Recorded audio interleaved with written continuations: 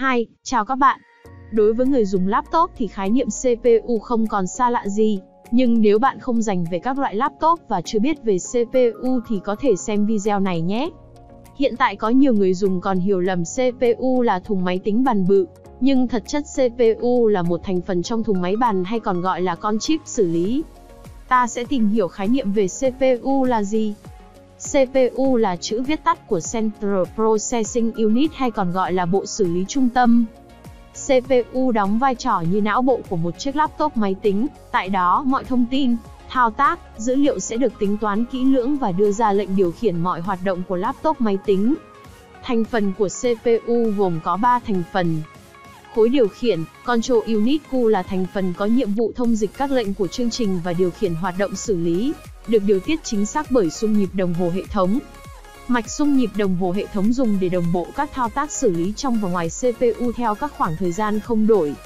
Khối tính toán ALU Arithmetic Logic Unit là bộ phận có chức năng thực hiện các phép toán số học và logic sau đó trả lại kết quả cho các thanh ghi hoặc bộ nhớ.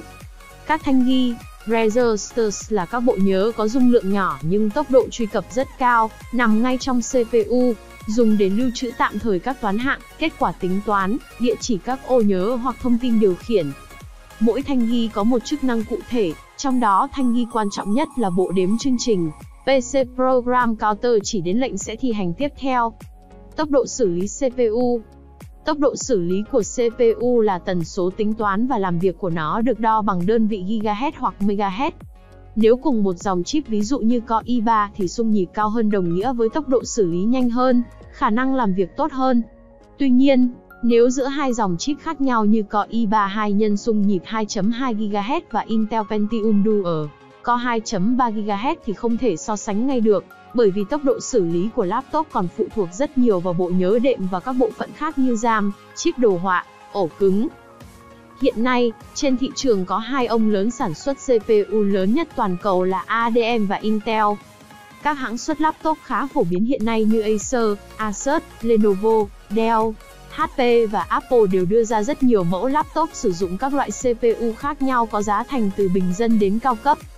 CPU Intel Những loại CPU Intel gồm có Intel Core i3, i5, i7, i9 và Intel Xeon còn rất nhiều loại chip mình chỉ kể một số chip thôi nhé. Trong đó có những loại CPU Intel được ưa chuộng là CPU Intel Core i9-9900K, CPU Intel Core i7-8700K, CPU Intel Core i5-9400F, i3-9100F, CPU ADM. Những loại CPU ADM gồm có AMD Ryzen 5, AMD Ryzen 7 và AMD Ryzen Threadripper. Trong đó có những loại CPU ADM được ưa chuộng là AMD Ryzen 7 2700X, AMD Ryzen 7 2700, AMD Ryzen 7 3700X. Nếu các bạn thấy hay thì hãy like và chia sẻ video của mình để nhiều người biết đến nhé. Và cuối cùng, các bạn nhớ đăng ký kênh và ủng hộ mình nha. Hẹn gặp lại các bạn ở video sau.